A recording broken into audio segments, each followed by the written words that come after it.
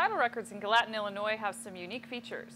First, Gallatin, Illinois is in a primarily judicial state, so that foreclosures are handled by the government sector. Gallatin County title records may also contain mechanics liens, which protects contractors from non-payment. Mechanics liens typically last for three years, although they may be able to be extended.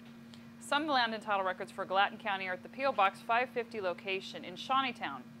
While these documents might have most of the information, it's important to remember that civil court records, probate documents, assessor's records, and other information outside of the lands record can affect a title search. For more information about a title search or land search in Gallatin, you can contact us at our website, titlesearch.com, or call 877 848 5337.